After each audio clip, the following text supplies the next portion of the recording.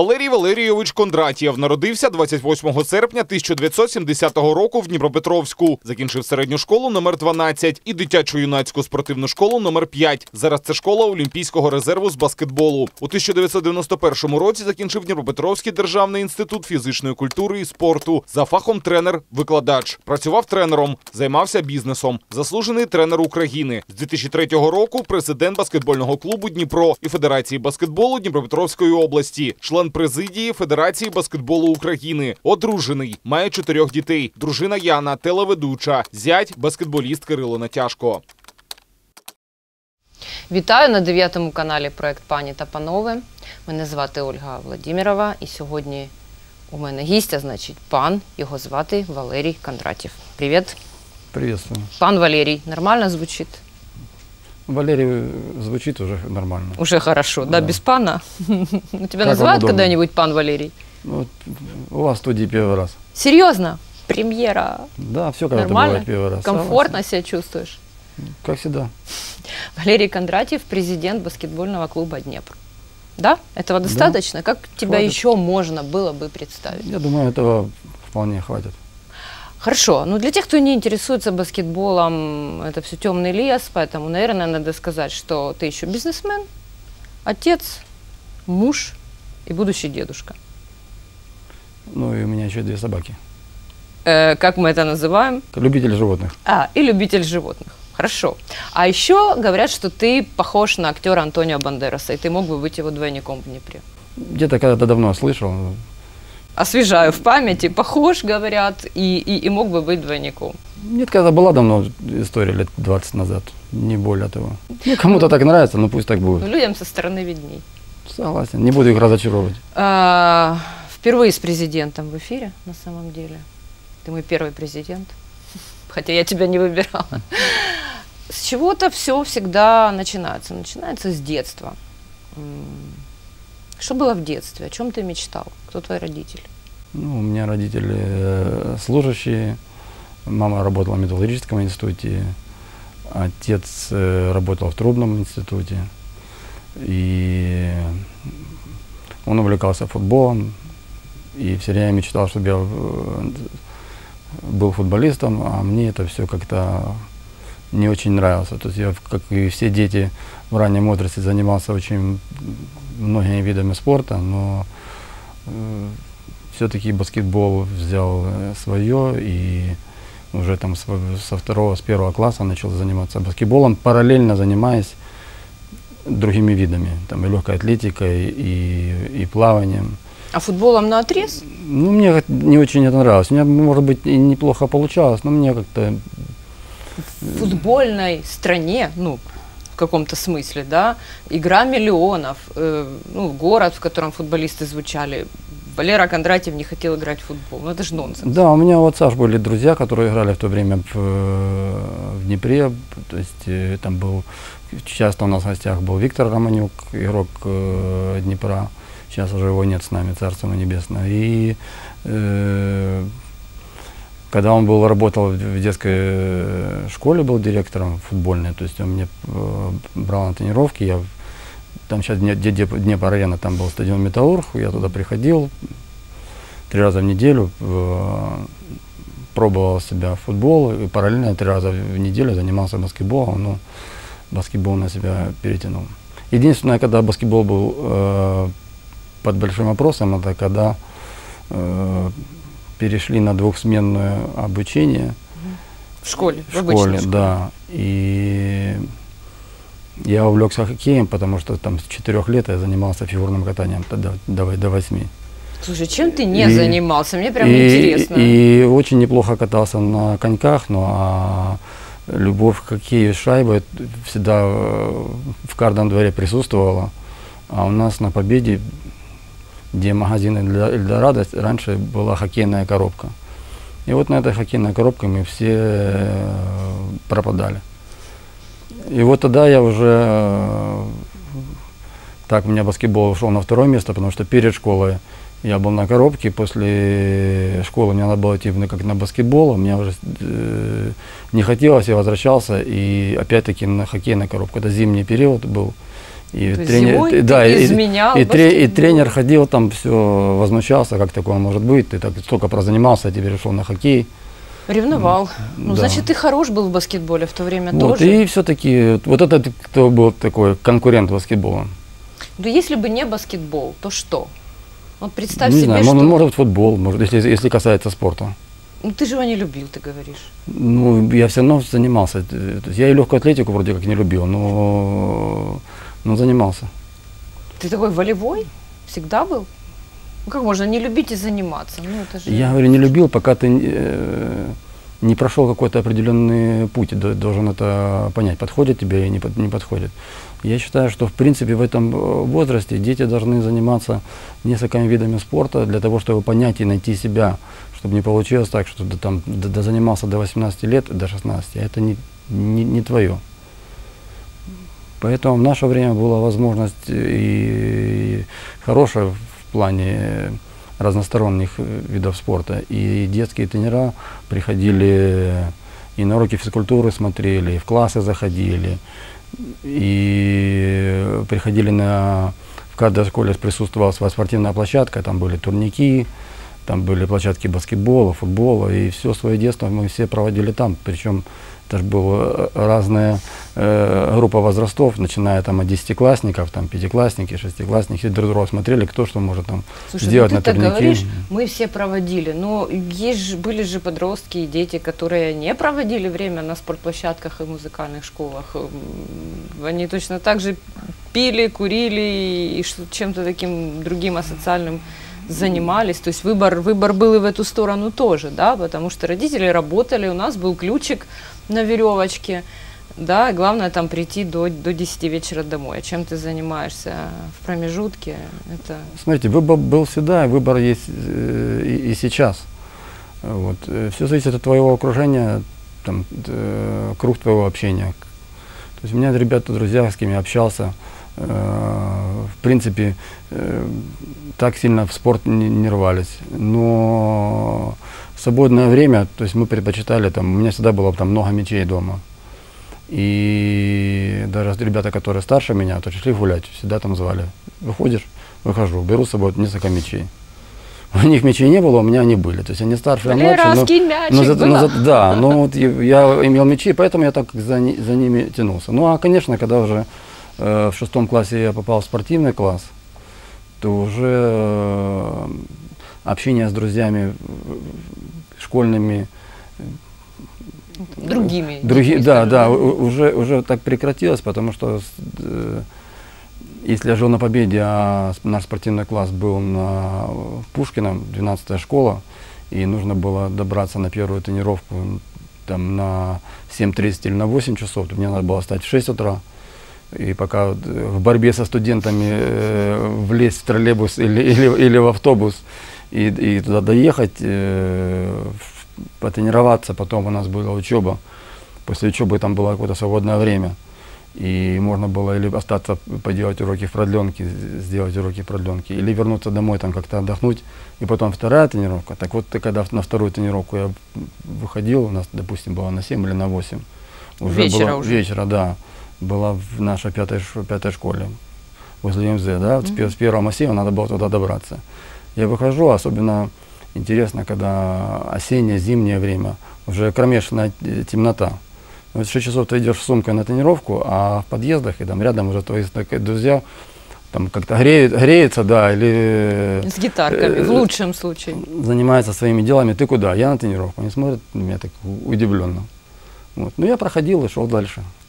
В 7 утра первая, в 7 вечера вторая. То есть такой больше, чем да, мы это, рабочий день. мы, это, мы это прошли, да. И поэтому э, почему у нас еще э, такое было уважение к, там, к нашим тренерам, потому что порой они проводили с нами больше времени, даже чем наши родители в какой-то, на каком-то этапе жизни. Ну, на сборы вы же с ними же ездили, не с ну, родителями. совершенно- совершенно и- и правильно. И на сборы э, Слушай, ну для ездили. того, чтобы ты попал к хорошему тренеру, э, должна же была быть какая-то предпосылка, да? Вот ты говоришь, папа настраивал на спорт, да?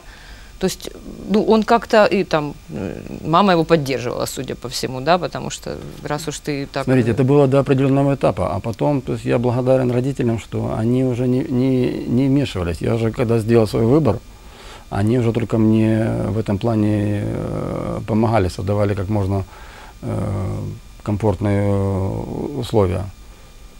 Ну, Ну, дома. то есть под- поддерживали уже. Да, да, уже- конечно, было Уже не мешали. Да, да, было, они вообще не мешали, просто там как-то было, свои, были их предложения. Ты один в семье? А потом, да, Мгм. То есть все внимание на единственного сына. Все внимание, да, но только меня не было, не было дома. Там после пятого класса, класса, то есть, э, ну, утром я проснулся, увидел э, отца, мать приготовила завтрак, и я уехал. Вечером э, приехал домой в 10-11 часов.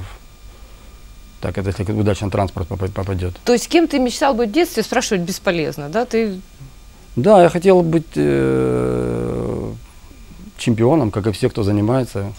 был кумир в то время, вот в школьное время. Да, мне нравились э, игроки, которые играли в то время в, э, в Советском Союзе, сборной СССР. Мне нравились игроки, которые играли э, в Жалерисе, которые играли в, э, в Киевском Будивельнике.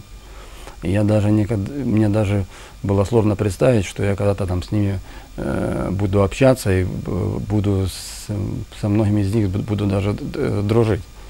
А когда ребята выиграли Олимпиаду в 88 году, то есть мы эту игру все смотрели, все наблюдали, и их имена ты ночью разбуди, и ты будешь их знать. У меня были плакаты там с Волковым, с Абонисом, с этими... А теперь у тебя фотографии уже взрослые с Волковым, с а Собоницем, теперь, мы, которые а- были в а- а а теперь мы дружим, общаемся, да, и практически вся олимпийская сборная, сборная того времени, э, со всеми я в приятельских, некоторых дружеских отношениях. А NBA смотрел?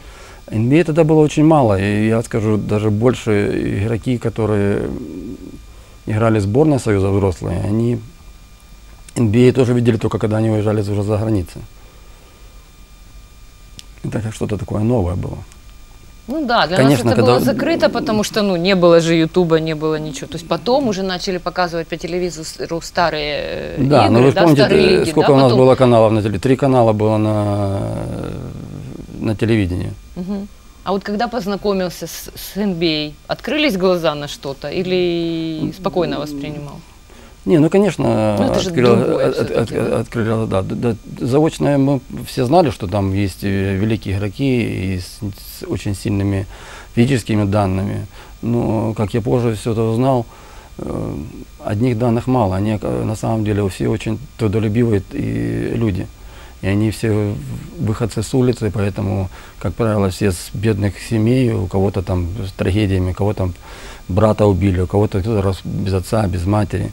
И они сами себе пробивали дорогу в жизнь. Поэтому это не так, что если ты черный, то ты сразу великолепный баскетболист и сразу миллионер. Нет, все далеко не так. Хорошо, закончил ты э, школу обычную, да, параллельно ты э, заканчивал и пятую баскетбольную, да? Да. То есть это все одновременно да. происходило, Да, да? выпуск был примерно в одно время. Мгм. Кто главный тренер твоей жизни? Таслицкий Ефим Борисович.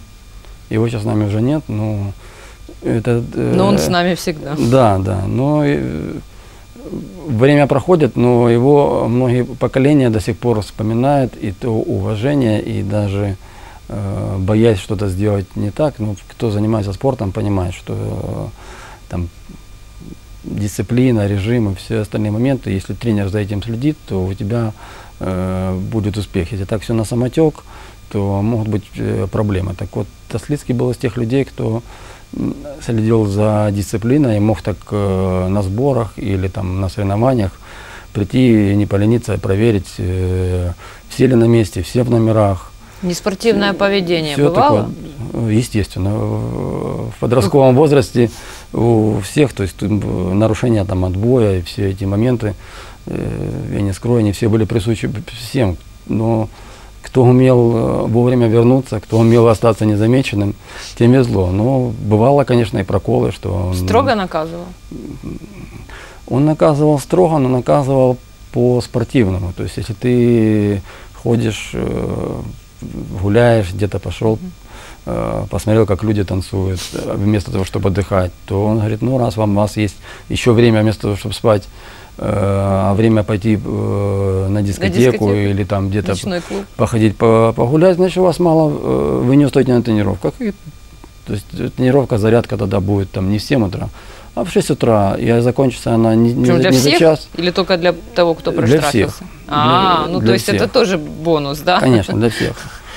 И особенно это э, было неприятно для старших людей, которые тоже на сборах попадали в эту ситуацию. И тогда, конечно, они уже... э, Молодняк не сильно любили, могли, да? могли уже сделать какие-то орг-выводы и так порекомендовать, чтобы больше таких залетов не было. Дедовщина. Но она присутствовала и присутствует э, всегда на определенном этапе. Старший учит младшего. Да, и я знаю многих людей, которых э, там, на 10-15 лет меня старше, там, на 8, но которые оставались людьми, даже когда там, мне было там, 17, 16, 18, а им уже было потом по 26. И на все вот эти выходки, то есть они сильно не Не зло- не не, злоупотребляли. не злоупотребляли, да, то есть э, Главная заповедь э, от тренера, вот, которую ты вынес в жизни для себя. Может, она не одна. Ну, я скажу, что у нашего тренера было много заповедей, много крылатых фраз, но одно было понятно, что когда ты отдыхаешь, то в это время кто-то тренируется и может стать сильнее тебя. То есть таким образом он подогревал ваши амбиции, да? еще он меня один раз очень сильно, так когда уже мы были взрослые, так он сильно и упорно мы, мы тренировались, и перед Новым годом нас собирает 31 числа. 31 числа он называл, на- назначал тренировку. И, как обычно, он это мог сделать и в 6 часов, мог и в 7, мог и так сделать и в 8. И он сам же э, находился. И когда он распускал, он говорил, вот, ребята, и запомните, никаких искушений. Вот вы сейчас тренировались, бокал шампанского откинет вас там, на две недели или на месяц ваших тренировок.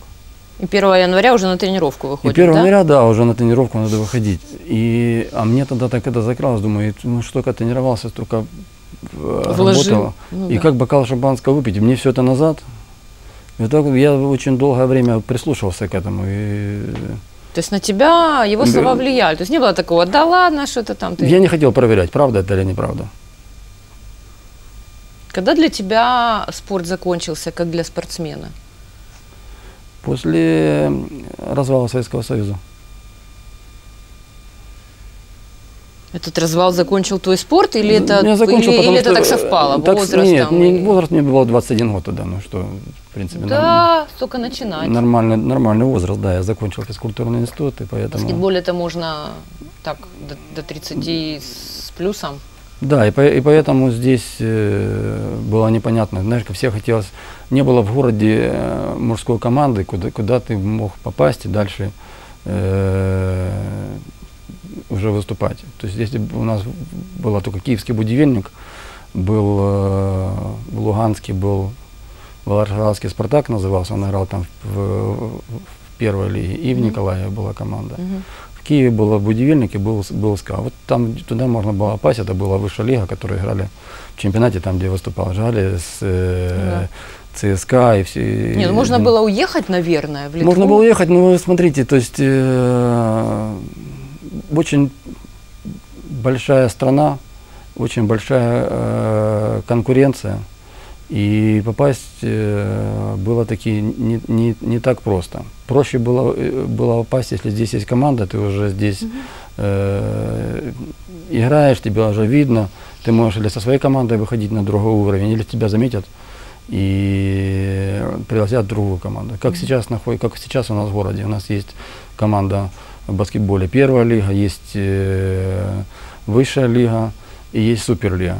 То есть дети, которые учатся у нас в школе, они понимают, что они заканчивают там в 16-17 лет школу, перед тем, как поступая в институт, они э, знают, что они не только могут во дворе где-то играть э, в мяч, но они понимают, что кто хочет свя- связать свою жизнь спортом, те могут попасть сначала в команду первой лиги, если у них получится дальше, потом в высшей лиги, и потом в суперлиге, потому что тренера все связаны одной программой, друг с другом общаются. У них сквозное общение у тренера Суперлиги, у Журавлева, с тренером э, первой лиги, с, с Мунтианом, и с тренером выше. Видит всех ребят, всех он всех То есть есть преемственность, всех картина прос- да, и, прозрачная, и- да? и- да, и сейчас и, и взрослые игроки, э, действующие, ходят в школу, и мастер-классы дают, и общаются с ребятами, и есть возможность к своему там кумиру э, подойти, пообщаться, знаете, то есть я понимаю, что, что у нынешнего поколения, в отличие от нашего, то есть реалии более приближены. Возможностей больше. Возможности, что касается э, Ну искушений больше, я тебе хочу сказать. Я сейчас эту тему не, не обсуждаю, то есть э, Ну, понятно, кто что- хочет пробиться и кому создают условия со стороны, кого поддерживают, ну, грехами не пользоваться, правильно? Дают. Школа есть, да, возможности есть, ездить можно. Ну, сейчас, правда, там есть ограничения, но, да, мы говорим сейчас об обычной ситуации. Ну, да. конечно, вы посмотрите, у нас же э, школа, она же не просто школа, она, в принципе, эта школа, э, она гремела и в те времена, она была одна из лучших в Союзе. И сейчас она одна из лучших в Украине, а по материально-техническому обеспечению, я считаю, она самая э, лучшая в стране. И количество команд, которые выступают э, детских на э, юношеских играх, тоже больше всех. У нас порядка около 20 команд выступает в разных возрастах. Это мальчики и девочки. Ну, мы к Украины. возрождению школы еще вернемся. Вы тоже с коллегами к этому руку приложили, так хорошо приложили. То есть 21 год, Валерий, да, разваливается Советский Союз. И что происходит? Все, нет, ком- нет команды, нет возможности. Нет, это, всё- это, это зависло? все было, но вы знаете, оно уже немножко не, не, не тот э, не тот, не тот порыв. То есть пока началось заново там все создаваться. То есть время шло, там год, два, три, нет никакой. э, А ты закончил инфиз. Да, закончил инфиз, да. То есть, э, По и, какой специальности? э, тренер-преподаватель, Работал тренером? конечно. Конечно, но я работал тренером уже в Киеве, в э, БК Киев, куда меня пригласил Алекс- э, Александр Волков. Мгм. Сколько лет? Ну, с 96-го года, по-моему, или с 97-го. Долго? Ну, прилично, я думаю, нет, не 3, 4, 5 лет мог работать. Нормально, да? Ну да, Нравилось? ну интересно было, да.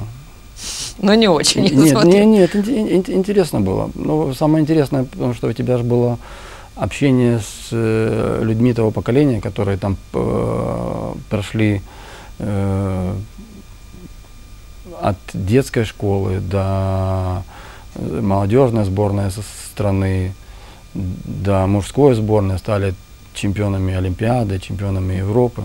То, что для меня было, ну, ну, практически это было невозможно. И общение с этими людьми мне очень много, э, много дало. И те моменты, которые я у них подчеркнул, я э, применяю в общении сейчас э, в команде с игроками, потому что тот опыт, он очень, очень важный. Если я его, допустим, сам не прошел, но мой там, друг, товарищ прошел и со мной поделился, то я считаю, пережил это вместе с ним. Сколько у тебя детей? Ну, четверо, Четверо? да, Две девочки? и два мальчика. Все твои? Э, У супруги от первого брака сын, я считаю, это тоже к- мы с ней начали вместе жить, когда ему было, наверное, два года, и он вырос у меня на глазах, и Ну, знаешь, Две- говорят, две дочки, женщина да. всегда точно знает, сколько у нее детей. да, и А мужчина может и не знать, нет, да? и у тебя две, такого две нет? дочки, и у меня сын, поэтому я все знаю, Все знаешь? все знаю. всё. Сын появился всё. не так давно, да? Я так понимаю. Ну, вернее, как в, Ну, твоей- в твоей жизни. Сыну уже прилично лет, 94 года рождения, Ты с ним общаешься? конечно. Сложно? Взрослый сын. Или девочки сложнее? Нет, де- девочки вообще не сложно. Ну, в принципе, я на протяжении многих лет всегда общался с э, молодежью, поэтому не общаться с- и как и со взрослыми, и с молодыми людьми, я везде себя чувствую комфортно, могу говорить как и с молодежью, и зная их интересы, могу и со старшим поколением пообщаться. Это правда, что ты настаивал, чтобы все дети занимались спортом с детства? твои дети, не чужие. Тут неправильно немножко слово нас- на, Не настаивал. Настаивал. Я Рекомендовал. Я, я, может быть, своим примером говорил и, и показывал, что это надо делать. И это так в дальнейшем в любом случае тебе в жизни пригодится, потому что даже если, к примеру, я не стал великим спортсменом, но то общение и те поездки, которые там были у меня в детстве, я был в социуме там, с- считай, с 12 лет. И мы объездили всю Украину, там пол Советского Союза, и везде есть друзья, и везде есть, Связи. Везде есть, везде есть отношения, да. Поэтому то, что дети занимаются спортом и имеют возможность общаться с, с разными людьми ра- э, разного, э, можно так сказать, социального уровня, это, я считаю, очень, очень здорово, потому что люди должны знать, как живут не только ты, как живут остальные, там, как кто добирается на тренировки, кто в каких условиях э, тренируется. Ну, я знаю, что Глеб, сын Яны, и, в общем-то, и твой тоже, да, занимается баскетболом, занимался с детства. Он даже за команду девятого канала один раз сыграл очень успешно. Да, ему очень нравится баскетбол, он занимался, но э, профессионально так э, у, удовольствие. у него не получилось. Занимается в Удоволь- И удовольствие. до сих пор занимаются, они ходят, у них Ну, есть команда, они ходят. Ну, в удовольствие, что же хорошо, правильно? Конечно. Это, по- по-моему, даже лучше, Но это, меньше нервов. Не, я вам скажу, это же такая, это лю- любовь, это любовь на всю жизнь, поэтому у нас есть команда ветеранов, которые там 50 плюс, 60 плюс, 70 плюс. А мужчины приходят, раньше они там бегали, сейчас они переходят где-то на э, спокойный бег, кто-то на ходьбу, но они все равно Ты играешь? друг с другом общаются. И ты играешь в Я команде занимаюсь. ветеранов? В команде ветеранов не играю. Еще я- пока я- нет. Да. Меня все время приглашают, но как-то я до этого Еще не- рановато, не ты дошел. еще пока да. в молодежке, да? Маша, старшая дочка, занималась теннисом, по-моему, да? Да. Занимается сейчас? Ну, сейчас э, не занимается, она по- ждет э, ребенка. Ты скоро будешь дедушкой? Ну, естественно. Ты уже осознал? Нет. Но счастлив, я вижу. Вот. э, э, Ну, а- а вообще теннисом занималась зани- теннисом. Теннисом занималась, да. А младшая тоже начала заниматься теннисом, а потом как-то все-таки перешла на баскетбол. Я не специально не хотел, чтобы они занимались баскетболом, почему, почему чем-то другим. Чтобы не получилось, что их туда как-то сильно туда, что я сам втягиваю. Ребенок должен сам принять решение. Чтобы я всегда поминал, как меня тянули в футбол, а я не хотел футбол. И вот я таких ошибок делать не хотел. Ну, то есть Ну, ты не скрывал от них существование баскетбола, Конечно, но они- они с и детства не ходили, смотрели приводил их туда насильно, вот, Нет. давай, вот это хороший ты, вот это перспективно, это классно. Ну, я знаю, что Лера э, мечтает стать баскетболисткой, причем профессионально этим заниматься, правильно? Да, И мечтает о той самой лиге, э, которую ты в детстве не мог смотреть, да? дети отличаются друг от друга. Э, Лера вроде как помладше, но она э, больше к спорту. И, может быть, у Маши не было такой э, возможности, не был так еще развит у нас баскетбол, в то время как Лера родилась в том году, когда мы открыли баскетбольный клуб «Днепр». И вот, О, ты при- четко знаешь, сколько и кому принцип- лет теперь, да? ну, Сколько, сколько да, Лере лет? И, и, в принципе все, все понятно. Лере сейчас будет 16. Ага, значит, БК Днепр тоже 16 лет. Да, это все развивалось на глазах и постепенно, постепенно, то есть у нее э, любовь к баскетболу взяла свое. Ну, то, что она занималась там теннисом и занималась легкой атлетикой, я как ранее говорил, это очень полезно. Ну, гены пальцем не размажешь. Ну, хочет ребенок, пусть занимается. Роста у нее хватает для этого, физических данных хватает. Да, она крупнее Маши, у нее уже метр восемьдесят рост, поэтому такая она достаточно крупная, и, ну, этого мало. Нужно трудолюбие, желание. Есть Да. трудолюбие? Да, они тренируются сейчас, когда каникулы, по два раза в день. И так, я смотрю, хорошо занимаются. Есть, Не тяжело отпускать младшего ребенка в другую страну, даже ради мечты. Ну, вот, папа, как есть, скажи мне, пожалуйста. я считаю, что нельзя эту мечту а- останавливать. Вот если бы была цель у меня, хотела этого- добиться в, в начале своей жизни, чтобы не получилось потом, что вот, а вот я хотела, а бы мне э, была возможность, а вы этого не, ну, а мне этого не, не, не, помогли, не помогли с этим. Не упрекала. Это потом. будет чтобы у нее внутри этого даже не было. И у меня, чтобы внутри это не было, не у мамы ее. Ну, как отцу тяжело. Ну, конечно, я же их э, обожаю, мне тяжело э, расставаться. Ну, так я рад каждому возвращению. А, вот, точно, есть допол- дополнительный Да. плюс. Э, Плюсы баскетбола понятные, то есть понятно, за что ты его любишь, и понятно, за что любят его твои дети. Но ты же как э, спортсмен, как тренер и как отец обязан был рассказать, наверное, и о минусах спорта, да? Какие минусы в занятии спортом? О чем, о чем, к чему нужно быть готовым? А я, тут я, меня, э, я с вами не соглашусь, я не вижу минусов э, в спорте. Даже если вы имели в виду там э, травмы или там э, слишком большая там загруженность, ты не можешь уделить времени, времени себе. Ну да, что-то теряешь. Ну, ну, в любом случае, ну, ты что-то э, находишь, и ты э, занимаешься своим любимым делом. А если ты еще умело и хорошо занимаешься, что люди приходят на тебя, смотрят, ты еще и за это и э, получаешь э, бонусы. Поэтому самое интересное в жизни, когда занимаешься своим любимым делом, это уже хорошо. А если при этом э, у тебя еще есть за это зарплата, то это просто великолепно. В общем, никаких издержек производства, я поняла, Валерий Валерьевич. Ну вот, честно, вот что, ну неужели ты вообще не жалеешь о том времени, когда ты занимался только спортом и больше ничем? Ну, конечно, не жалею. Я скажу, если бы можно было вернуть все назад, я бы с удовольствием это сделал. Но вот я сейчас даже в общении там с, со многими э, спортсменами, я понимаю, что я хотел бы сейчас попасть в ваши условия. Которые Я- и- сейчас у них, да, да? я, в принципе, могу То есть ты прийти. им завидуешь и я могу, в немножко? принципе, прийти, также с ними тренироваться, питаться. Но я то, что сделать, то, что они могут сделать, э, уже это невозможно. Зато ты их поддерживаешь, ты можешь создавать им условия, ты можешь быть хорошим президентом. Ну вот э, этого мало. Нужно, нужно общаться, и мне приходится, я могу позвонить там игроку там, и в 9, и в 10 э, часов вечера, узна- узна- узнать, как он себя чувствует после, после тренировки, сколько он весит. Ну, где-то так. Про- Происходит такое неформальное общение. Слушай, и зять у тебя баскетболист. И Зять баскетболист, да, но здесь э, Ну, тоже случайно я получилось. не знаю, как зятю повезло, не повезло. Думаю, что зятю, зятя пока есть проблемы. Ты имеешь в виду со спортом или с Не- тестем? Нет, ему надо, э, у него двойная на- э, ответственность. И за, за дочь, и, и в команде нужно себя проявлять, поэтому ему очень тяжело.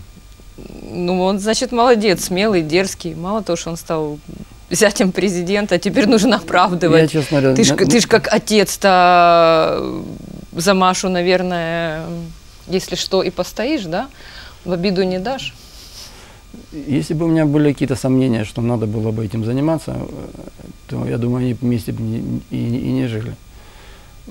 А так и они друг к другу хорошо с уважением относятся, друг друга любят, поэтому это их жизнь, и как она э, сложится, я больше чем на 100% уверен, что у них будет все хорошо. Ну, вы рядом, если что. Ну, да, естественно. Мальчик, девочка, кого ждут? Внук? Ты так посмотрел, как будто бы, а есть варианты. А, Правда, что, невзирая на большую семью, большое хозяйство, у вас нет домработницы, нет, никогда не было нянек, вы все это делаете сами, правда? Нет, нянек, нянек не было, и домработниц э, прямых таких не было. Вот сейчас немного нам приходят, там э, помогают, но это только из там, окружения родственников. Ну, это только моей- сейчас, когда уже моей- все выросли. Да. То есть я просто, твоя жена работает у нас на канале ведущей. И она очень четкая, очень дисциплинированная, очень Вот я пунктуальная. хотел понять, как она работает, кстати. И хорошо работает, молодец, да, старается. Э, И я как-то у нее спросила, слушай, как тебе удается, будучи ну, публичной, да, достаточно особой, дважды публичной, потому что жена президента сидит на всех играх. Кстати, это ее обязанность или это ее желание? У нее тоже это по- получилось по, постепенно, ведь она, э, Не спортсменка.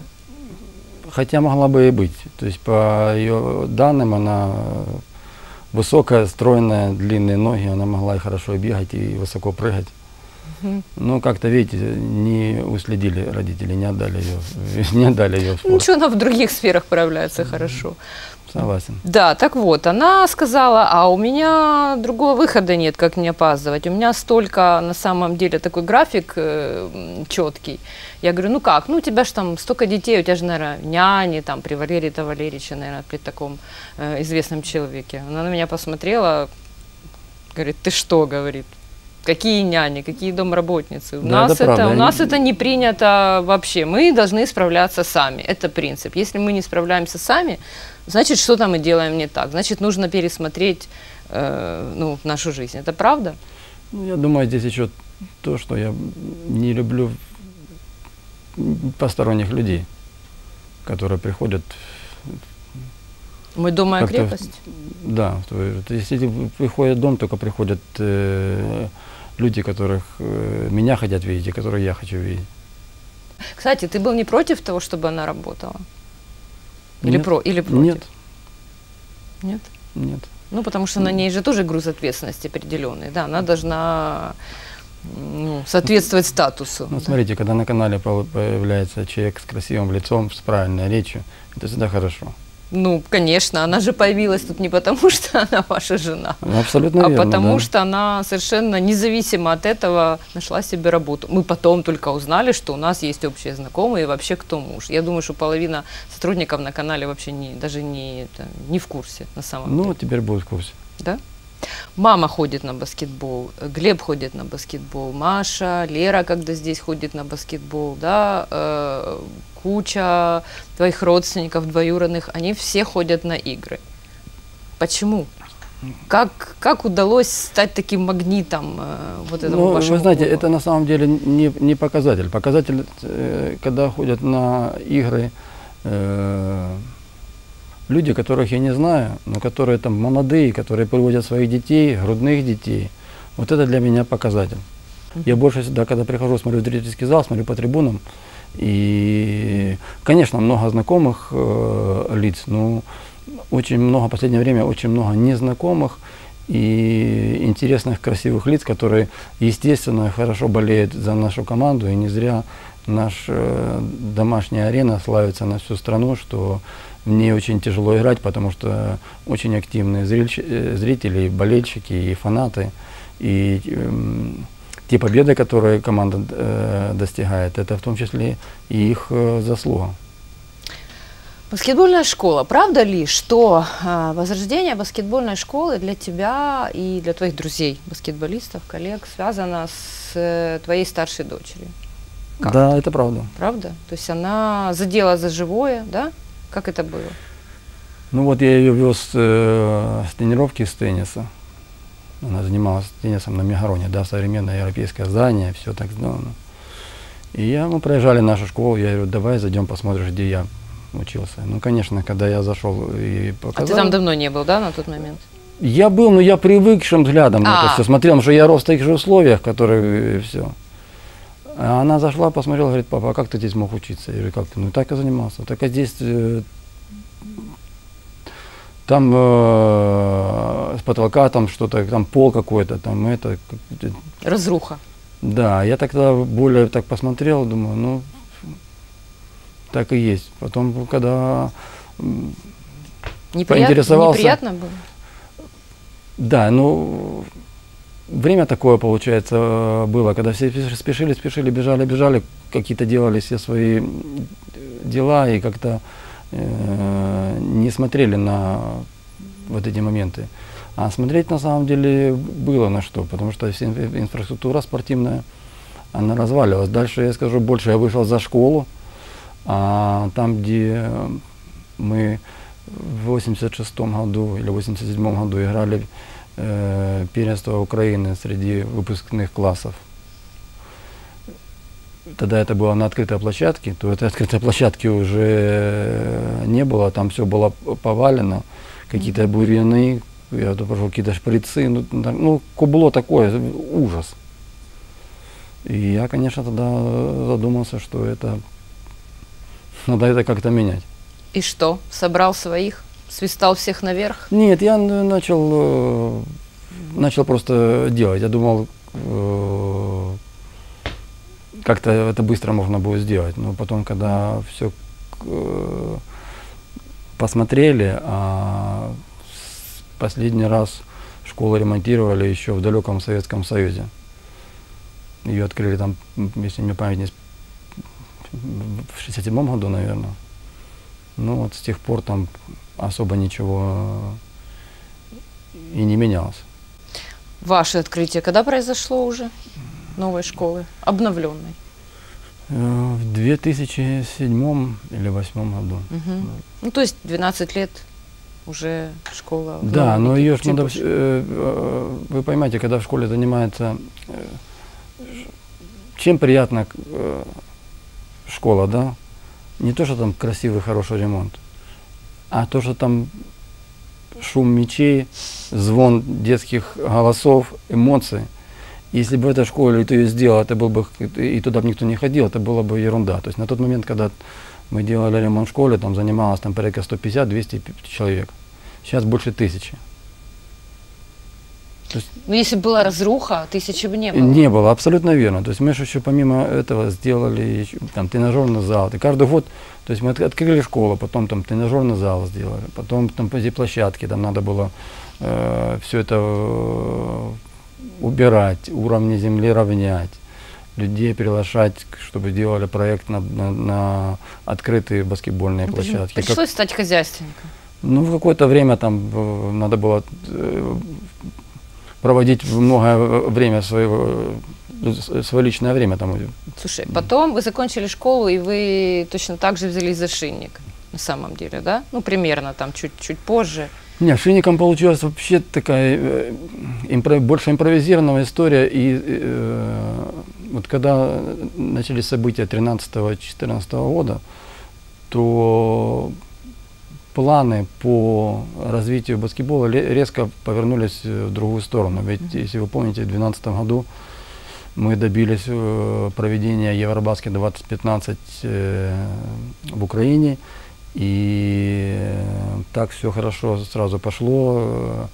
Начали строить баскетбольную арену. Были договора, что строятся в пяти городах баскетбольные арены. То есть ну, такая же самая история, как и у нас в Днепре баскетбольная арена. То есть э, были договора с государством, что инвесторы, те, кто отвечает э, за арену, э, начинают ее строить, э, у них были свои обязательства, там, а порядка 25% нужно было сделать от, э, от всего проекта, должен был сделать инвестор, остальное должны были дать государство в форме кредита, который через Мгм. 5 лет начинал обогатиться. Что, что касается нашей э, э, арены, которая в Днепре стоит, то то, что нужно было сделать инвестор, он и сделал на тот момент. И следующий должен быть шаг был от э, государства. Естественно, его не произошло, вот поэтому сейчас пока оно так э, стоит. Но И здесь пока никаких новостей ну, пока всем э, не до того.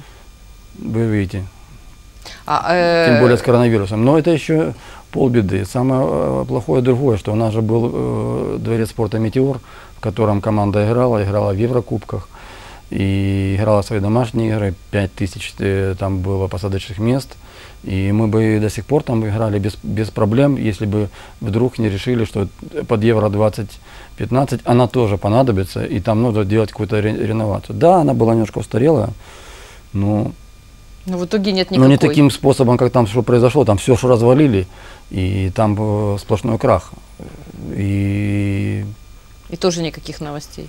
новость только одна, что ее в этом году еле-еле вернули в э, собственнику, это завод ЮМЗ, ЮМЗ э, ее передал в коммунальную собственность э, в области. И вот теперь мяч на стороне области, я считаю, что такую крупную э, арену в городе Миллионники э, ну- нужно иметь, и если она на балансе, то ее Ну, то надо в отремонтировать, итоге- в итоге и через год... Арены допустим, нет, метеора нет. Закончилось тем, что мы, роботами, да? что, что мы доигрывали свои домашние матчи где? В Каменском? Нет, В- в нашей, дома- в нашей школе. А, в пятой школе? В пятой школе мы доигрывали, мы доиграли чемпионат. Все-таки, видите, как э, мы там ее хорошо подготовили, сделали ремонт, там трибуны, там порядка 150 человек на трибунах. Ну, фактически вы играете там, где вы и сделали. Вы играете в шиннике или уже не играете? Не, Что сейчас, там, кстати, э, с э, нет, все, все в порядке. И, Нормально? и- и у нас оказалось, что в команде негде было находиться. Негде было играть. И тогда пришла идея, то есть э, с Шинником. Вы видите, Шинник сейчас э, великолепный, чудесный зал, но для нашей команды и для болельщиков он очень маловат. Какие есть варианты? Варианты у нас два. Самый, самый прямой, самый быстрый – это сделать э, ремонт э, зрительного комплекса «Метеор». Это быстрее, чем достроить арену? Конечно, быстрее. М. Вопрос к области теперь. Это, это намного, это намного быстрее, я считаю. Но если мы сделали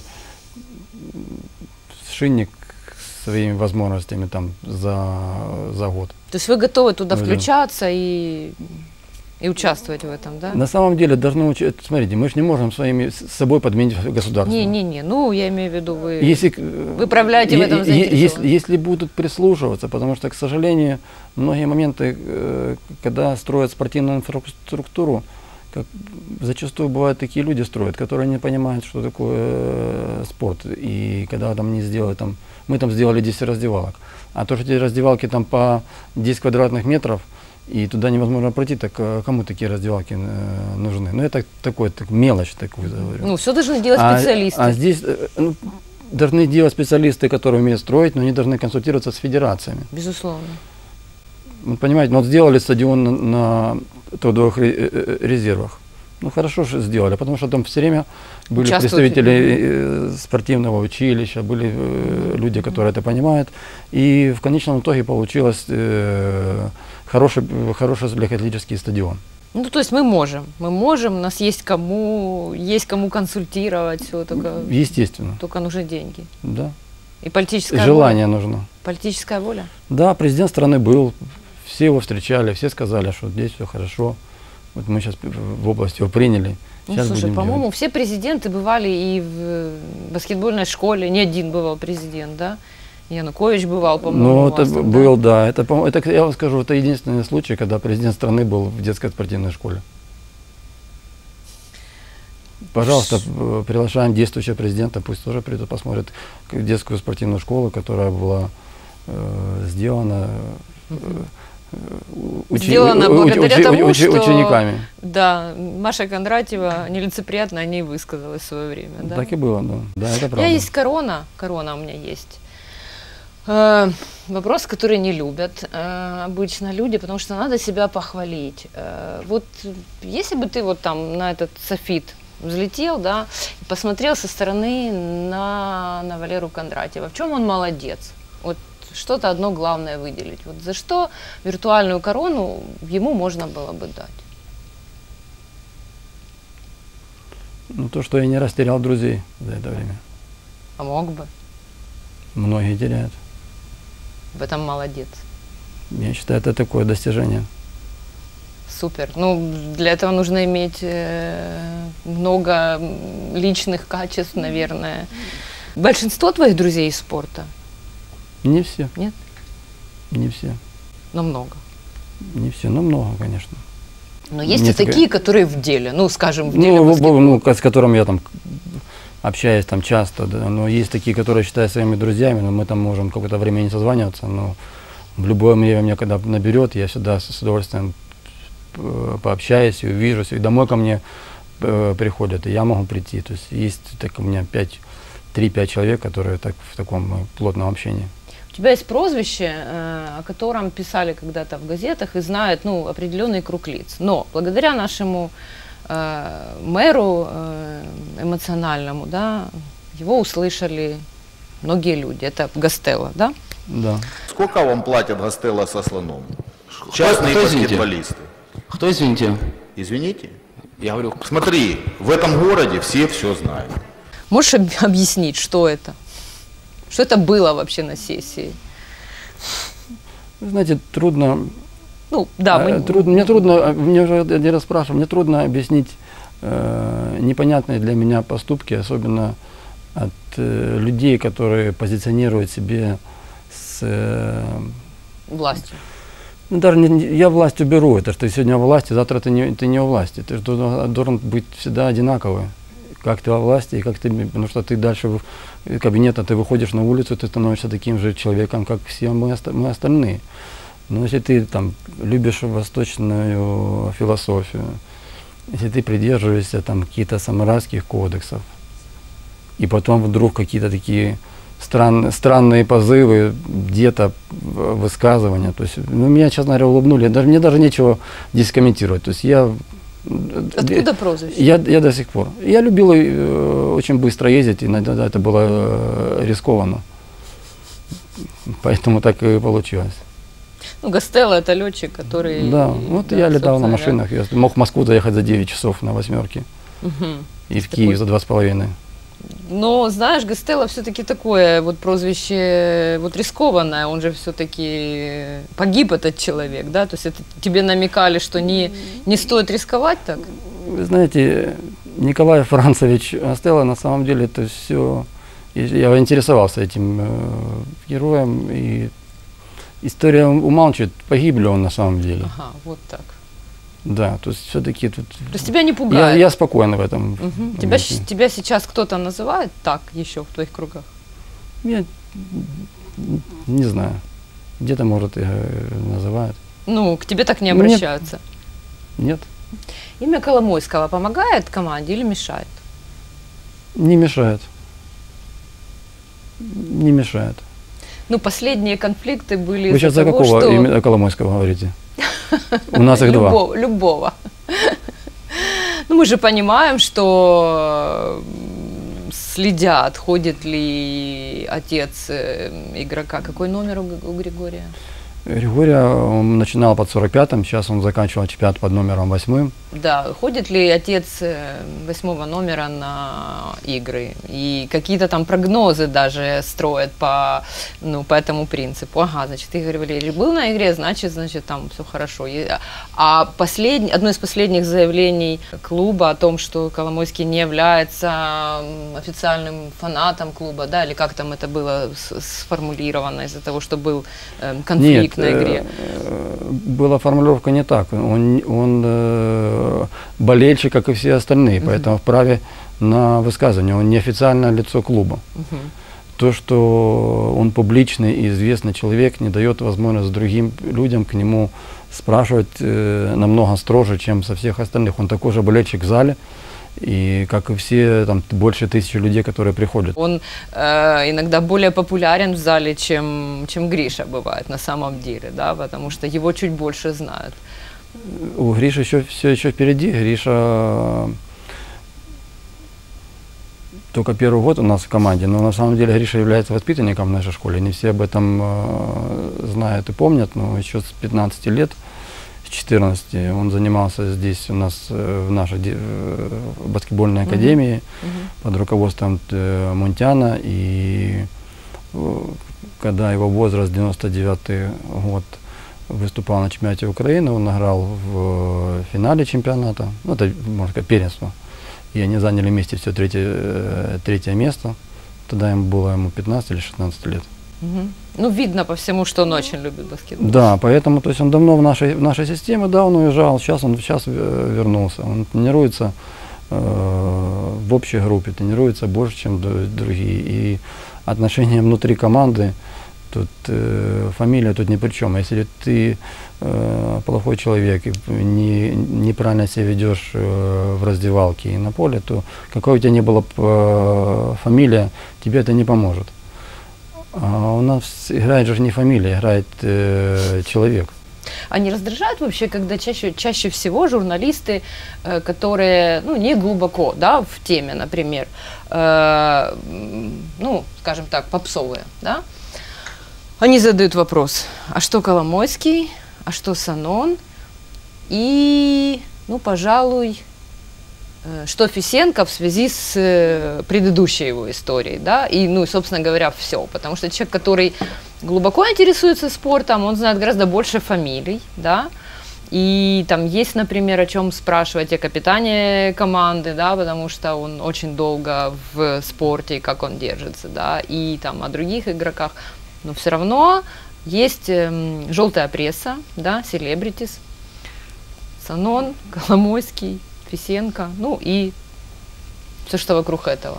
Вы знаете, на самом деле это немного печально, но это проблема этих, этих людей. Я, Проблемы не быка Днепр, да? Да, конечно. Проблема этих людей, кто такие вопросы задает, потому что они сами себя иногда выставляют ну, в таком э, не очень хорошем свете. В любом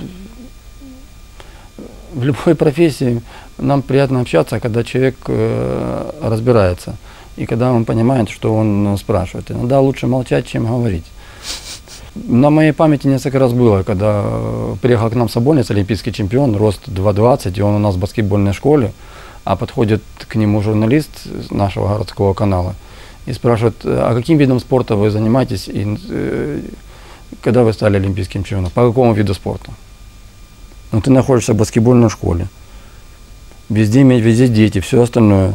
Э, человек стоит, который в два раза выше тебя, и у него Понимаете, вот это, вот это проблема. То есть, Может, растерялся кажется, человек, застеснялся. Мне, самое главное, что хорошо, что не растерялся Сабонис.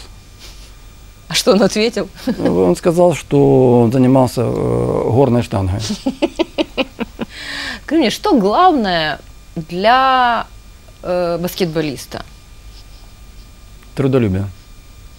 Ну, слушай, это для любого человека главное, да, на самом так деле. И есть. Хочешь добиться результата, так и ну, есть. пошли. Но это ни, никакого нет секрета. Это, ну, это же командная игра.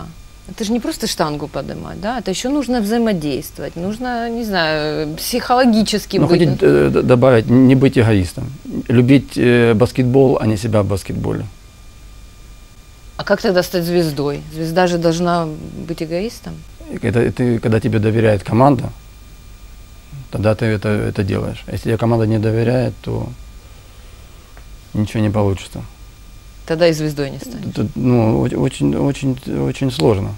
Но когда э, в коллективе видят, что ты раньше других пришел, позже других ушел, и у тебя все через работу, то тебе, тебе и в ответственный момент и, и доверят. Твоя мечта для Днепра? Дворец спорта. Разных видов спорта. Он не может быть одним баскетболом, и не нужно этого. Э, в году 365 дней. Не секрет, да? Ну, если только Иногда не, даже 366. Не, не, не, не берем этот год. Э, сколько можно заполнить баскетбола? Домашние игры, куб, евро, еврокубки, кубковые матчи. 40 событий до 50. Остальные должны быть волейбол, гандбол, мини-футбол, концерты – и так далее. Оно должно жить, должен все остальное время э, туда должны ходить люди. А ты не хочешь пойти в политику, чтобы продвигать эти идеи? А, вы знаете, если бы не, не столько бы продвигать идеи, а как защищать спорт от хищников, э, которые, прикрываясь какими-то благими намерениями, на самом деле Э, не делают то, что надо делать, или делают не со... те вещи, которые потом не соответствуют, или которые через год надо опять там переделывать. Ты знаешь, что надо делать? Что касается спорта, естественно. Так ты я думаю, я думаю об этом, конечно. О политике? А в наше городское очень хорошо думаю. То есть ты себя там видишь? Я бы, э, думаю, там нашел применение своим знаниям спортивным. И не только ну, человек, который справился с кучей детей без домработниц и нянек, я думаю, сможет. Надо э, пробовать. Спасибо. Спасибо, что пришел, спасибо, что был искренним. Извини, если какие-то вопросы тебе не понравились, ну, такие правила у нас. На самом деле. Я не прихожу в чужой монастырь со своими правилами. Я пришел к вам, это же ваша территория. Конечно. У вас свои правила. Да, ну ты гость поэтому имеешь привилегии. Ну, меня иногда называют мамкой Дудя, иногда называют занудной ученицей Фрейда. Я там из людей что-то там пытаюсь э, вытащить. Но люди тоже молодцы. Они умеют защищаться и не вынимают те карты, которые можно оставить для следующего разговора. Спасибо, что пригласила. Спасибо. Дякую вам за увагу. Це був Валерій Кондратів, президент БК Дніпро. Переслухайте ще раз і дізнайтесь, хто він іще. Там є про що поговорити, є про що поміркувати. А якщо ви побачите його, як він каже, в міській політиці, я думаю, ви згадаєте це інтерв'ю. І у вас будуть ще до нього якісь питання. Дякую, до побачення.